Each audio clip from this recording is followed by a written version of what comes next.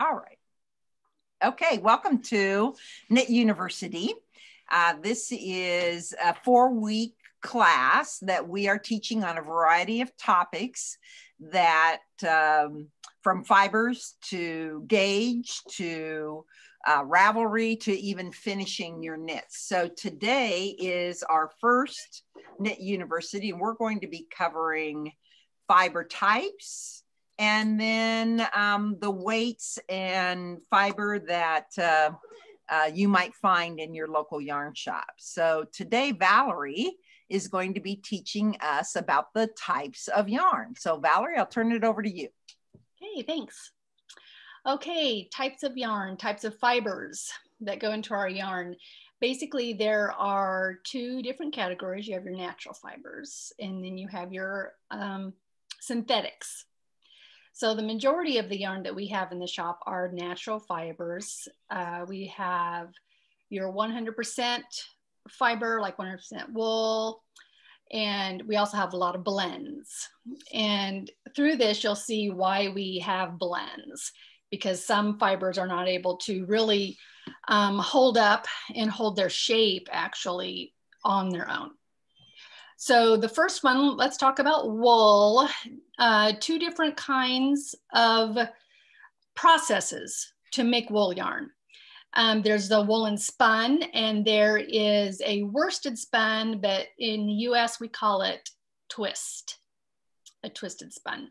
Um, the woolen spun, basically you have your wool fibers and they are just spun as is. They're allowed to go into the spinner any which way they want to go.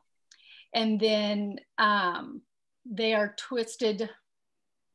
Yes, I'm trying to think about this. Yeah, they're twisted on their own. And then with the worsted spun or the twisted, the fibers are, they're held flat. They're laid flat parallel to each other. And then they're put through the spinner. And then after the spinner, then they are twisted mechanically on purpose. So we have woolen spun and we have twisted.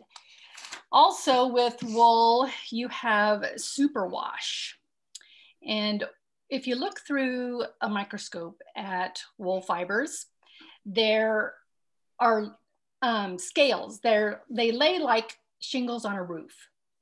And with superwash, the scales are either removed or they're suppressed through a process, um, and that allows the garment, your project, to be washed and dried without um, fear of it shrinking or felting.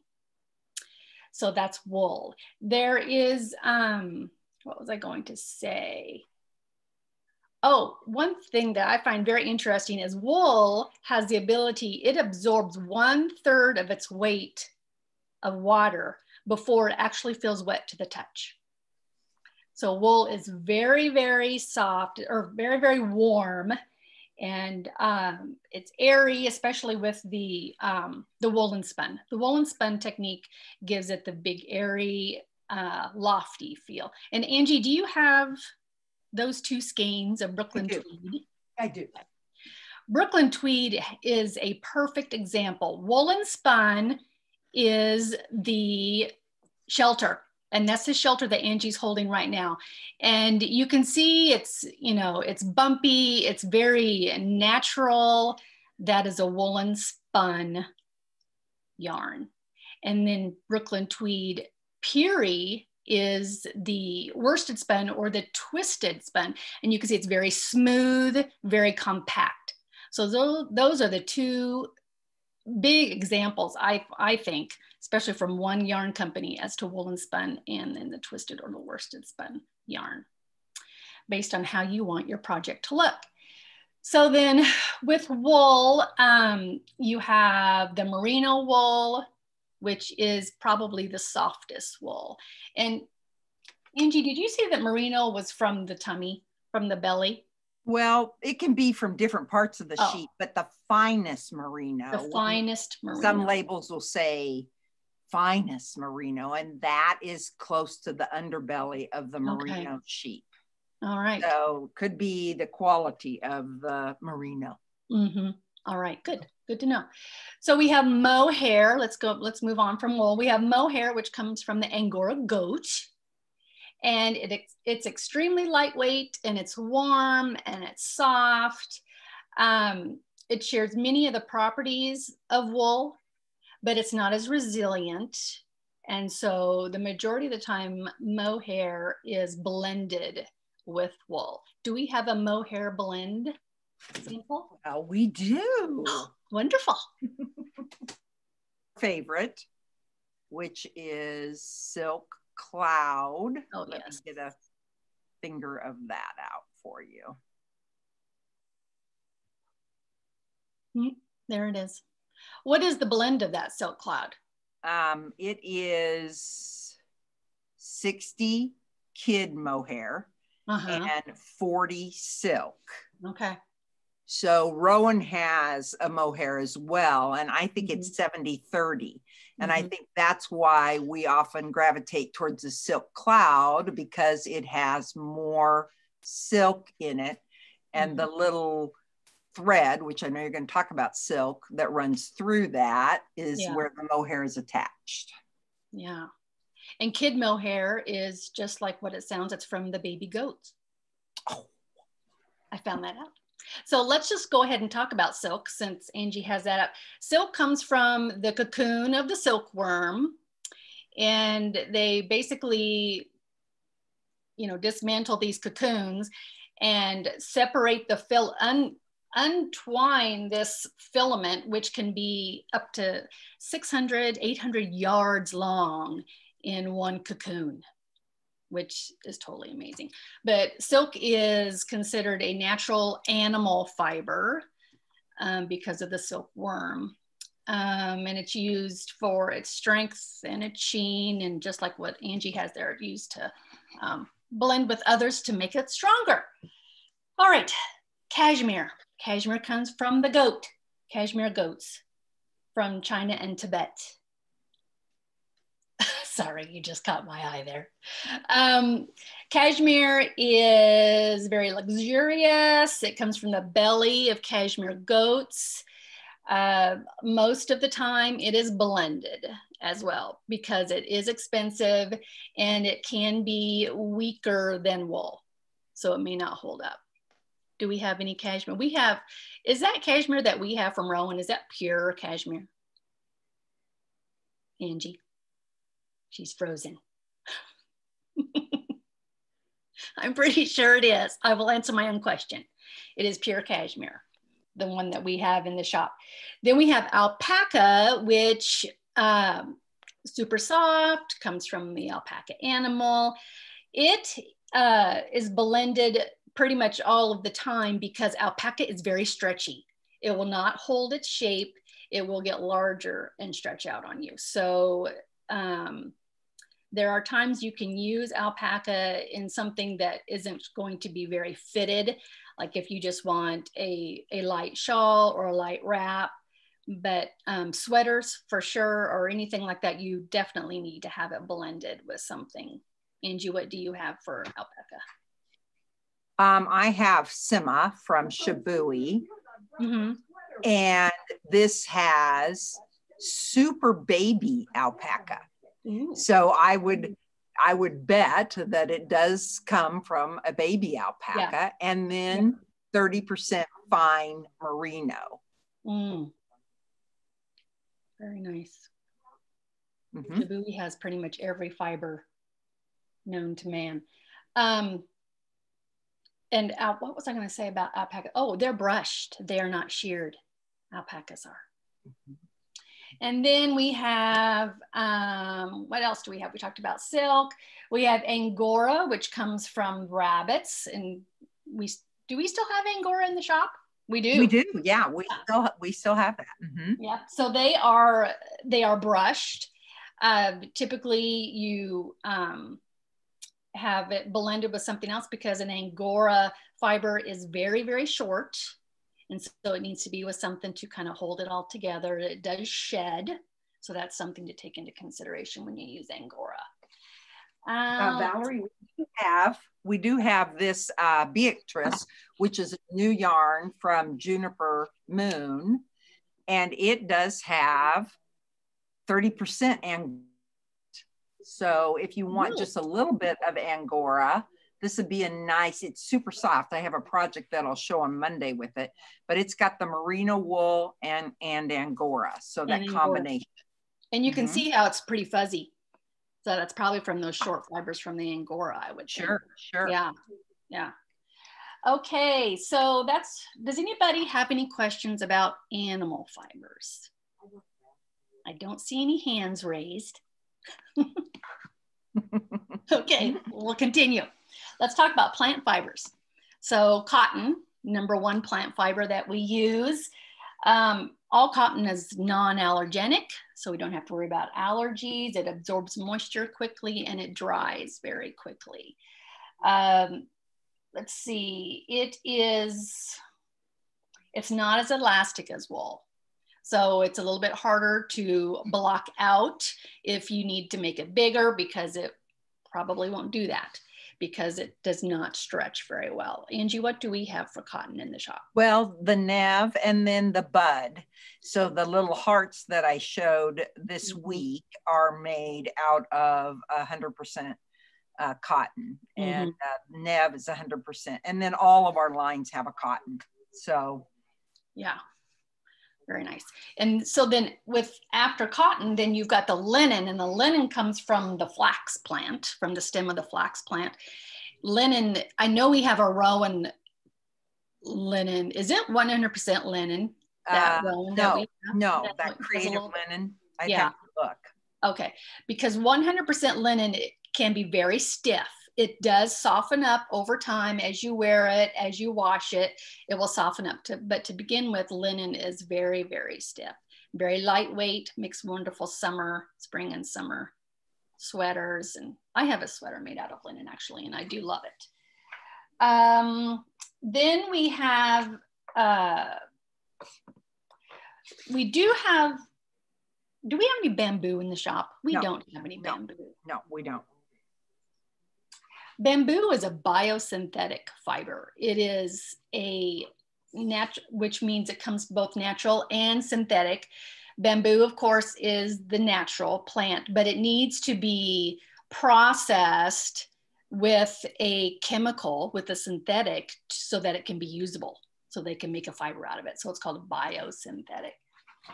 And what's interesting about that, Valerie, is I have folks come in wanting bamboo because it's a natural plant fiber. And mm-hmm. and so you're telling me that that's not really true. It is. I mean, it, because it has to be treated to get to right. the where we can't just knit a bamboo stick.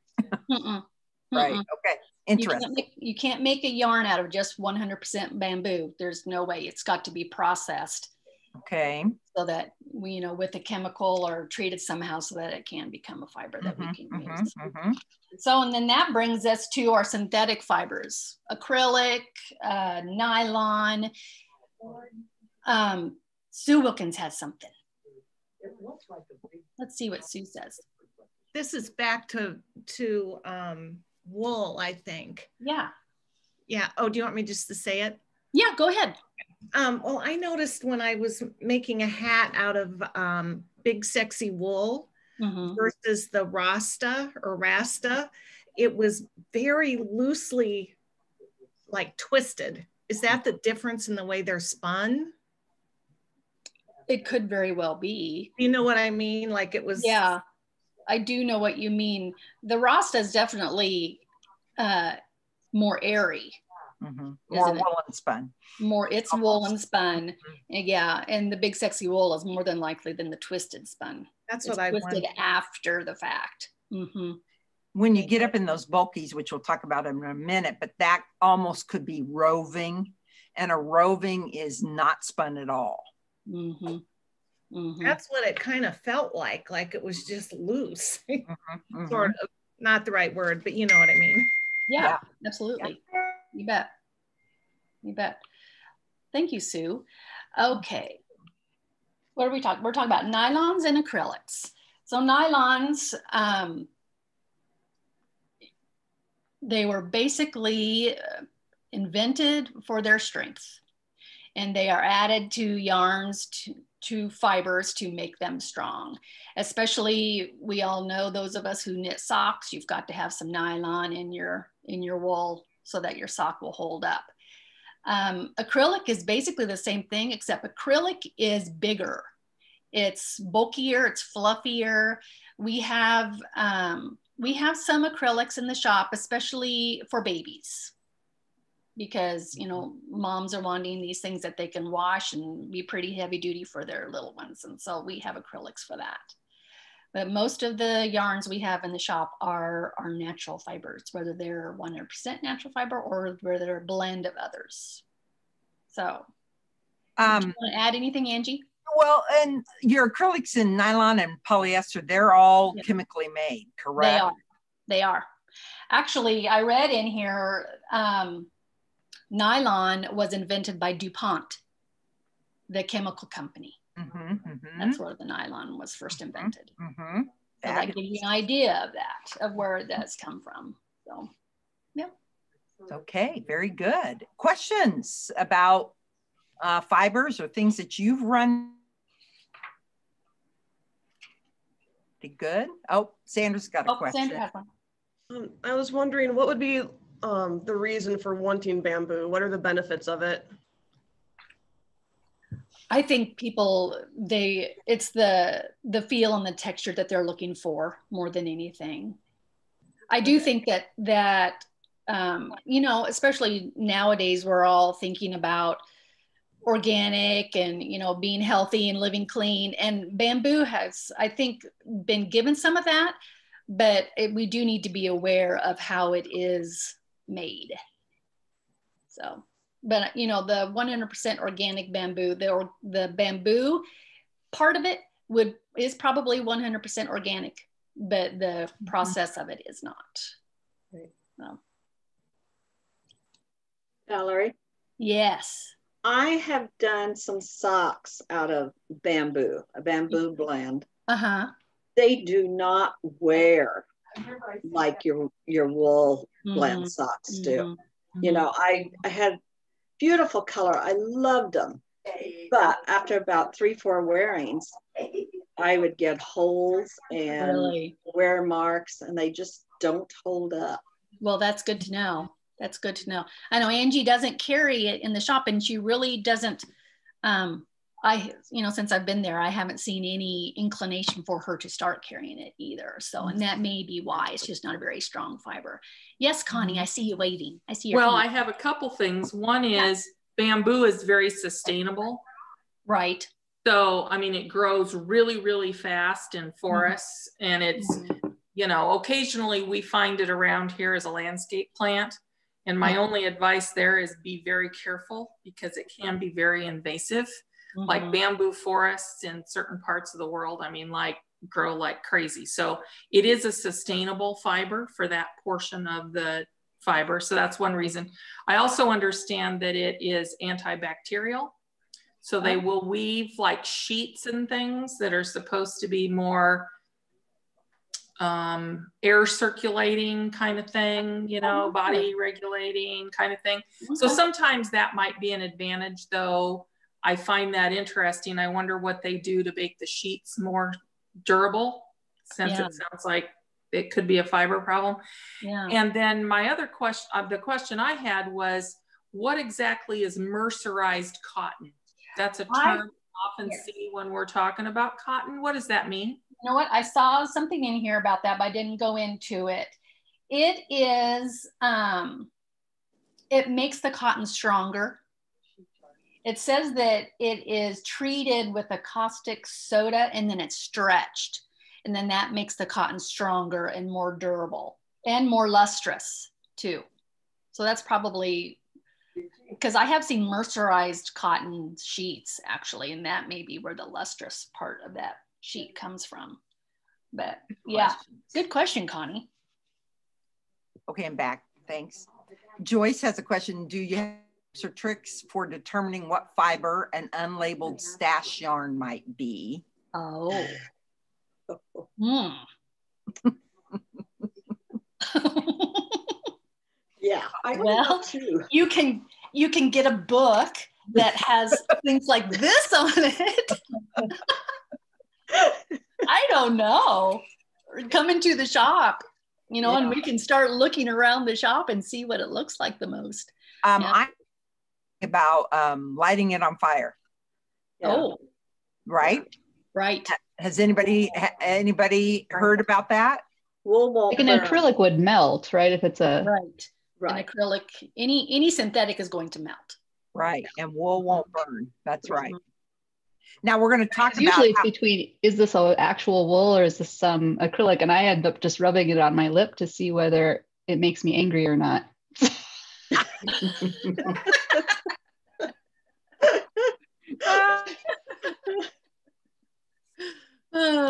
We are going to talk about how you can determine weight. Now that's an easy one. We can determine the weight of an unknown labeled yarn, but uh, that's a that's a great question. Mm-hmm.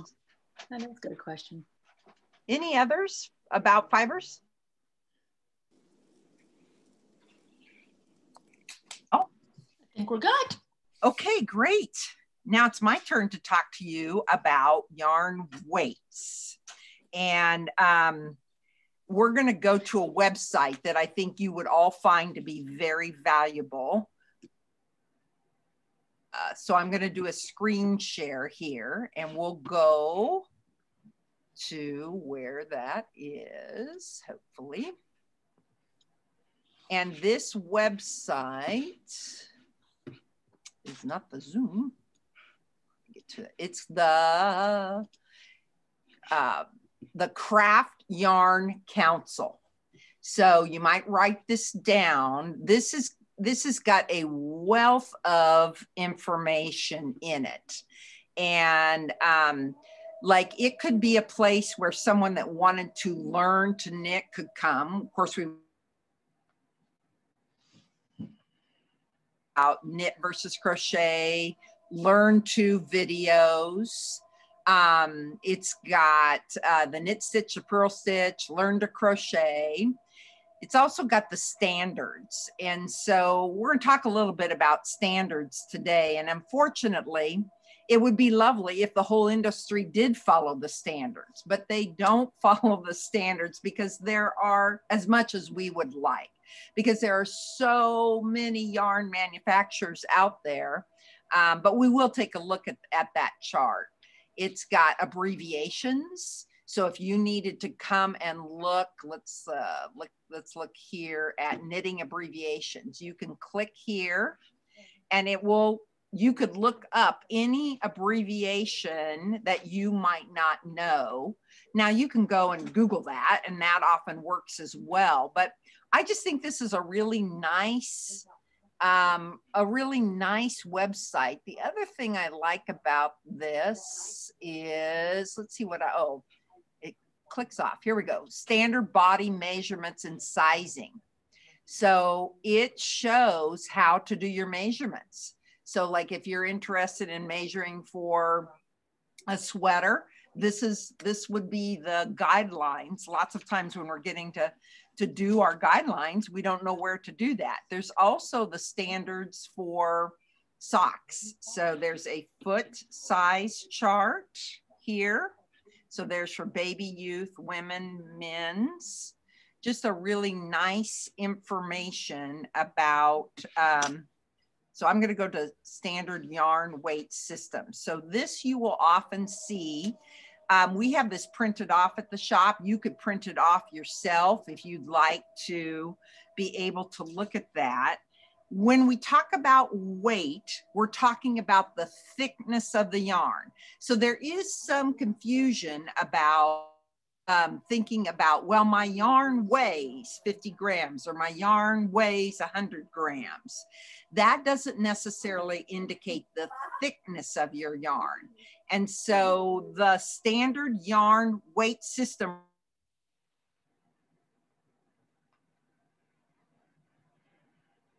your yarns will have these little, I guess they're little skeins with the numbers on them. And that will identify what uh, type of yarn it is. So we can look at lace, super fine, fine. Um, and that would be then called fingering. It talks about how we might refer to these. We don't really call it baby. we don't really, we don't call fine baby either.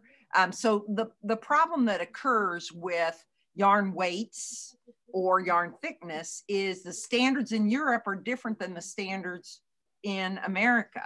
And in fact, American designers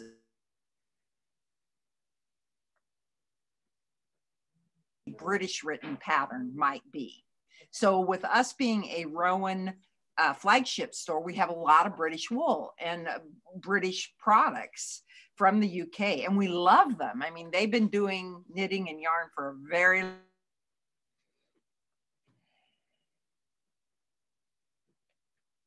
little bit of translation that sometimes doesn't come across the pond, so to speak, uh, to America. The thing that you'll want to pay attention to is what your gauge is. So this will often determine might be. So you can see it's 33 to 40. And important to look at is that your gauge, your gauge is um, uh, done in stockinette in a four inch swatch. So it's not done in garter, it's not done in pattern, it's not done in anything like that. It is done in stockinette. Okay, so that's important for us to um, important for us to remember as we think about gauge. And next week, Susan's going to be teaching about gauge. And we'll talk a little bit about that here in a minute as it refers to um, refers to the yarn. So we come on down 27 to 32, 23 to 26, 21 to 24. So we'll often look at your your pattern and then we'll say, well, um, what kind of yarn are they calling for? Then there are recommended needle sizes as well. So you can see that they've got the metric and they've got the US. And um, interesting enough, many of us will work with our patterns in yardage, yet everything that we we don't work in ounces, we work in grams. So we're kind of cross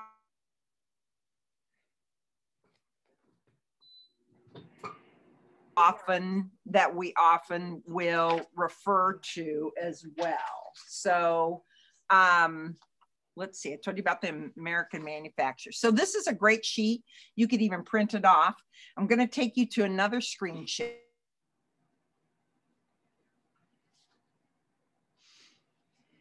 Question. you check while I switch screens here, please. Val, can you check? Can you see the chat? There we go.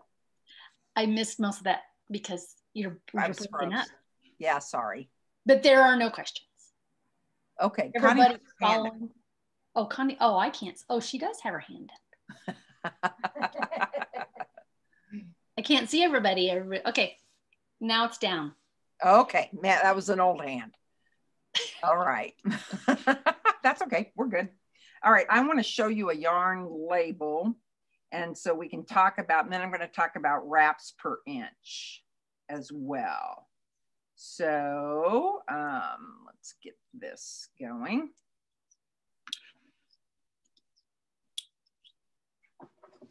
And we'll talk a little bit about substituting yarn too.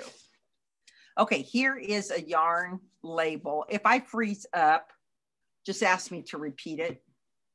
Okay. Okay, so some yarn labels have a wealth of information and some yarn labels don't. Um, and that's where wraps per inch might, might come in handy. Up here, we talk about color and dye lot. What we know is that a dye lot is important, especially if you're making a large project that you would want it all to match. There are some tricks that we can do to blend in a dye lot. And sometimes even a dye lot doesn't indicate that it's all going to look the same. That's why the companies we carry here at Knit Paper Scissors, we pay close attention to their reputation, how they put their things together, what they're about, because that does make a difference then when we're You see that it says featuring the finest Angora and extra fine merino wool. It's 54%, 30%, and then 16% nylon. So this has become a really popular yarn recently, and they're called a chainette.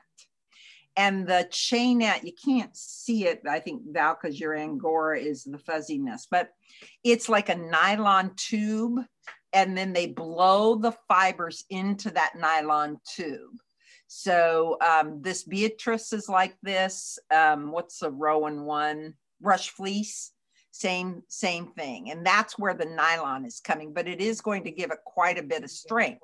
So this is good with the angora and the wool to be able, you know, to be able to have that. Then we come on down, and we're going to look at. Um, you'll see that it's this has got both 1.76 ounces, but 50 grams. So that's what we really look for. And then we see that there's 109 or 109 Yep. what we know is that yards is about 10% more than meters. And that's that's kind of true here. So we're seeing it's about nine more yards. So whenever but somebody comes in and they have a pattern and it says, well, when I need 70 meters, then we know we're going to need about 77 yards kind of thing. So it's always 10% more. Here are the wash symbols. And back on the Yarn Craft Council, there's a great little handout that you could print out that has got the different symbols. Now we see that this is bulky okay? And so if we look back, I'm gonna look back on our bulky here. Um, look back on our bulky, we should have a gauge of 12 to 15 stitches. So let's look. She, they have 12 to 15 stitches. So this is a pretty good example of a standardized label. They're suggesting the US needle size 9 to 11, and then they have hooks as well as recommended. And remember, this is over stockinette stitch. So this the craft council or our standardized our standardized companies would here's a shibui label so it's going to be a whole, it's going to be a lot different in that it's got the content, we see the color, the dye lot, they've got a weight, and then they've got the gauge of 20 stitches. So here's a great example. This, they're calling the weight of shibui as lace. When I look at the lace in the standardized chart, the gauge on that is 33 stitches. So therefore, we're back to where a gauge swatch is important. Now this is saying though, 20 stitches on a US seven. So that's where our difference is because a lace weight would typically be done on a double zero, a zero, or a one, and then your gauge would be 33. So see, Shibui is saying we like to knit this on a seven at a 20 stitch gauge. Okay, so you have to be a little bit of a detective here on your on your um, on your labels. Let's look at let's say you have a product that you do not know what the la the label's gone and you just don't know. We have this little tool and you could just use a ruler. That would be okay too is wraps per inch. And um, what you would do is you would take your yarn and then you would just, you don't want to pull it tight like that. You just are going to let it naturally fall. So I'm going to scooch this down. We're going to wrap it in this way. And um, we're going to see how many wraps per inch, just letting it butt up to each other gently. And um, so it's about four, five inches. And this is Rowan Big Wool, and it's considered bulky. And our stitches is 12 to 15 per inch. So we're right on with our um, right on, almost a little thinner than like your, um, than like your rock.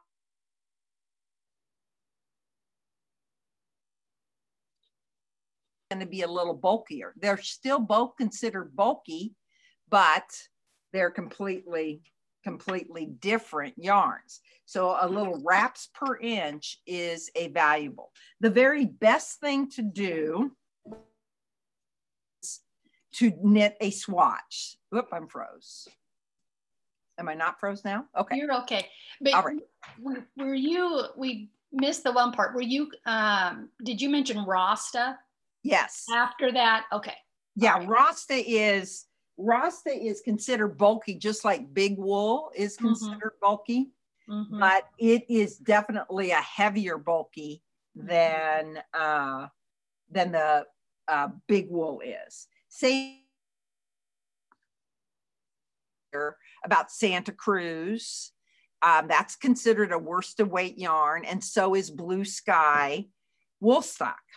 But um, if you were to do the wraps per inch, you would notice that your Santa Cruz is going to be heavy and not as many wraps per inch as your Woolstok is going to be. So one of the things that often happens is folks come in and they say, I have this pattern and I don't know what yarn to make it out of. And so one of the places that we will, that I like to, what I like to do with a customer is say, what is it about the pattern you like? Do you like the color? Because sometimes we see the picture and we say, I, I want a pink yarn. I want it just like that. Do you like the drape of the picture? Because we can't necessarily substitute all yarns across the board. Um, if you want a drape, like let's say, as Valerie taught about cotton to wool, they're going to look completely different mm-hmm. in the finished product. So there's a number of things you need to think about instead of just saying, well, I want to use this yarn. So yarn substitution um, is best done with a swatch. So next week, again, Susan's going to be teaching on swatches and swatches aren't just for sweaters. So they're a great way for you to determine what your yarn thickness or weight is. Um, for example, we could have a 50 gram ball and it could have 160 yards on it. So let's just say this one has 160 yards on it. And then I have another one. I don't have that with me as I did the other night. And the same 50 gram ball of a different yarn has 120 yards. That means that that one will be slightly thicker. Okay. So just because they say it's a 50 gram ball that you think, well, that's going to have the right yardage. Not necessarily. That yarn could be a little thinner, that yarn could be a thicker. That's why a gauge swatch is so critical to helping determine your thickness.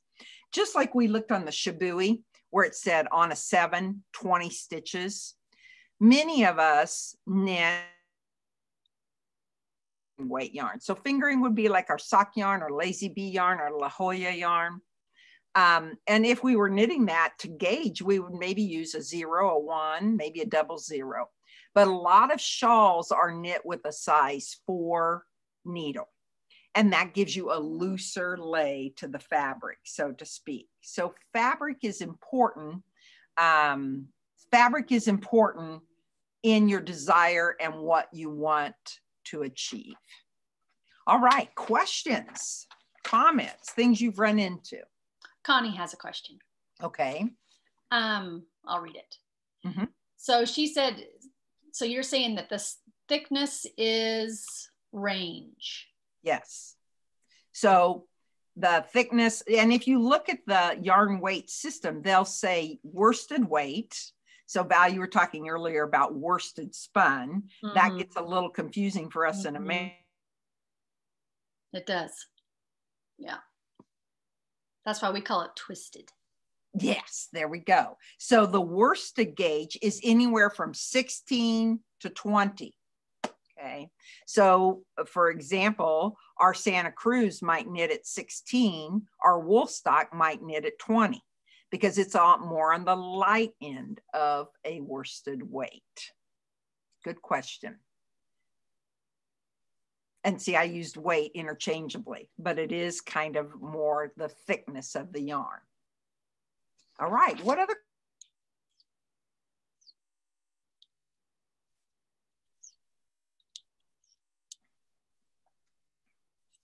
Have any of you run into um, uh, any challenges that you'd like us to, to like to share and how you worked it out? Not yet. You're all experts. All right. Well, I'm going to encourage you to make sure to join us next week for the gauge um, because that really fits right in with determining the correct weight of yarn and how that might impact.